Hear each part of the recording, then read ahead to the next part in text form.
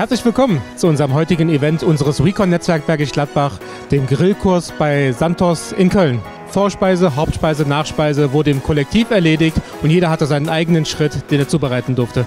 Mir hat es heute mega, mega, mega gefallen. Äh, man muss geile Führungen durch die ganzen Grillkurse und sowas ähm, kann ich wirklich nur empfehlen. Ich hatte heute mein erstes Recon-Event, es war sehr nett. Ich habe äh, nette Gespräche geführt und sehr lecker gegessen. Santos Grillkurs hier ist ein Highlight. Also man kann nur dazu lernen. Hat mir gut gefallen.